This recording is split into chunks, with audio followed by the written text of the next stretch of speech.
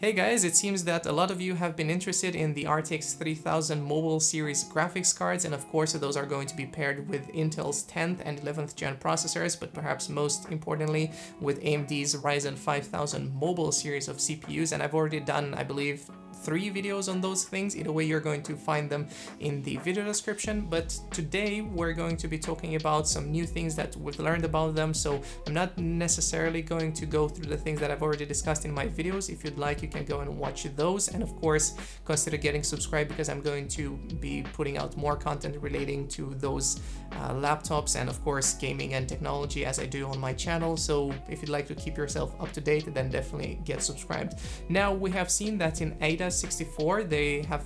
this has been added support now for the upcoming RTX 30 series mobile graphics cards. But surprisingly the RTX 3050 and the RTX 3060 desktop graphics cards were also on that list. And of course, uh, like I was saying, I talked about these graphics cards in another video, so you can definitely go and check those out as well because they're definitely interesting. And if you are on a budget, I think you might want to have a look at them. Now, focusing on the RTX 30 series mobile graphics cards, it appears that the RTX 3080 mobile is not yet on that list, which might not mean much at the moment, but I'd definitely be curious to um, see if there might potentially be that laptops featuring this mobile GPU might actually take longer to come out. Remember that the RTX 3000 mobile uh, GPUs will be um, coming out well, theoretically in January or February, uh, right after CES 2021 from MSI and ASUS, as I mentioned in one of my um, previous videos with other manufacturers coming out a little bit later with models. Um, now you can also see that speaking of the configurations, the RTX 3070 Mobile seems to uh, come in three different variants, those being the RTX 3070 Mobile, the RTX 3070 Mobile 16 gig, and the RTX 3070 Mobile Max Q. Now, if you remember, the pricing for those laptops uh, was anywhere between 999 to $2,000, and of course, we've seen them um, theoretically going out for a higher price, but not yet on the Dutch um, uh, website Azerty. Um, but of course, that's not only for the RTX 30 series uh, 3070 mobile graphics cards. This was for the 3060 mobile, for the 3070 and the 3080 mobile. That was a top of the line. Now for the RTX 3070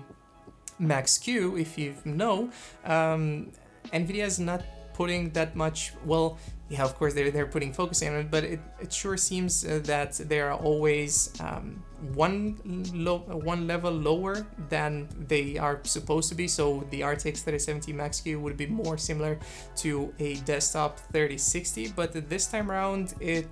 we're, and we're going to get into some benchmarks, it seems that it might even be a little bit lower than that. And of course, if you don't know what Max-Q is, this is their whole uh, shtick uh, that which makes it so that uh, they can make thinner laptops and they have a lower TGP and lower performance in this case, but they still get to the title of an RTX uh, 3070 in this case, although it's very different from the RTX 3070 that you would have on a desktop in a desktop. And of course, I have an RTX 3070 in my PC video and that is on my channel already. Now let's uh, look at some benchmarks as I was uh, talking about because speaking of the performance, I'd expect them to be similar, like I was saying, to the lower level desktop cards. So if you'd have an RTX 3070 mobile, that would be more similar to an RTX 3060 or 3060 Ti, depending on the scenarios. But we've seen that the RTX 3070 mobile has been spotted in a V-Ray RTX benchmarks, and of course, this is only a productivity benchmark not a, gaming uh, benchmark, so don't extrapolate their results one to one because it most certainly doesn't work like that always. I mean, you might get lucky in some cases, but strictly looking at them if you are to work with such a tool, then you might actually be happy to hear that the RTX 3070 mobile GPU has managed to score close to 1400 points in V-Ray, which puts it roughly 88% behind the RTX 3060 Ti, but quite similar in performance to the RTX 2080 Ti. And I'm talking about the desktop version of the RTX 2080 Ti, not that there would not that there would be a mobile version of the RTX 2080 Ti, at least I don't remember that. Um, so if you are a person that works with these kinds of productivity tools and you worked with um, ray tracing scenarios a lot, then this looks like a good deal, um, especially if it's going to uh, be the 16 gig version and if it's going to come in at a nice price. Well, we don't know all that much about pricing just yet, but perhaps something equally interesting is um, to note that the RTX 3080 Mobile seems to feature the GA104 chip instead of the GA102 chip that uh, we've seen it having it on the actual RTX 3080 desktop um, version. So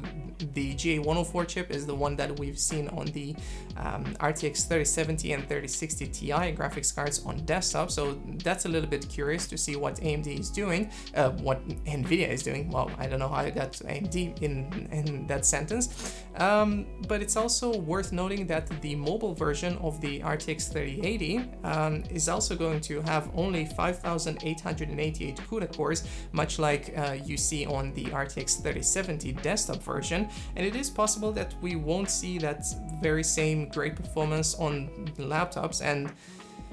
I don't know what I was expecting initially, but it sure seems that it also combined with lower TGP, I believe it's something around 110 to 150 watts, you're definitely not going to get anywhere close to the performance of an RTX 3080 desktop graphics card. But still, it will it will be a compelling graphics card uh, and of course a good uh, mobile. I, I would expect. I'm, I'm not sure about that, but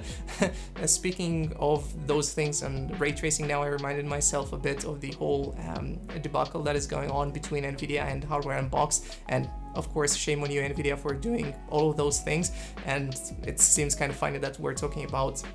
ray tracing performance as you know um, Nvidia and us gamers would like to hear more about. Of course if you don't know what I'm talking about then I will link a post to the original hardware unboxed. I believe I don't think the video is out yet, but they, they clearly uh, posted a tweet and had a YouTube post about it. So if you're not caught up, then definitely go and have a look at that as well. Now, sticking back to, or going back to laptops, um, perhaps super good to know is that we've seen ASUS get their certification for the for their um, Zephyrus Duo 15 SE featuring Intel's 11370H processor, which I've of course talked about in one of my previous videos, and this one seems to have a base clock frequency of 3.3 gigahertz and a boost of 4.8 gigahertz. And I've previously covered um, those laptops, like I was saying, but they were from Gigabyte at that time that featured the very same CPU. Um, as for the Asus laptop, it seems like these aren't the 45 watt variant since those might only come out in the second quarter of 2021. So if you want to have the beefier version of this CPU, then you might have to wait a little bit longer. I'm personally glad that these certifications are of course taking place right now as this means that we might eventually see them come out sooner and, and I don't mean sooner than CES because that would be kind of weird because I expected them to announce them at CES but it means that um, ASUS and MSI as we've seen previously from a leak from WCCF Tech um, we might see them come out in, in like right after CES in January or February. So if you have the money or you're saving up to get a new laptop then these might be interesting but I do expect that well not most people, but a lot of gamers or people who want to game on their uh, laptops and of course need to do some productivity work as well might go with the Ryzen 5000 plus NVIDIA RTX 3000 um, combination in this case because yeah, it sucks what's going on with NVIDIA at this time and uh, it, it's like kind of the whole combination with AMD and AMD might also work because they're also releasing their whole uh, 6000M series of graphics cards and they're going to of course pair it with the 5000 mobile series of CPUs but as far as I know uh, in terms of productivity it's better to go with AMD and NVIDIA. But of course this highly depends on the kind of work that you're doing and feel free to uh, leave a comment telling me how wrong I am in, in this case and we can of course discuss about about that. So this would be pretty much for uh, today's video. I don't have a lot more information about um, the upcoming laptops at the moment, but be sure that um, as soon as I found more information, uh, as soon as I find more information about them, I'm going to let you know through a video. Either way, I hope you guys enjoyed and I'll catch you in the next one. Bye.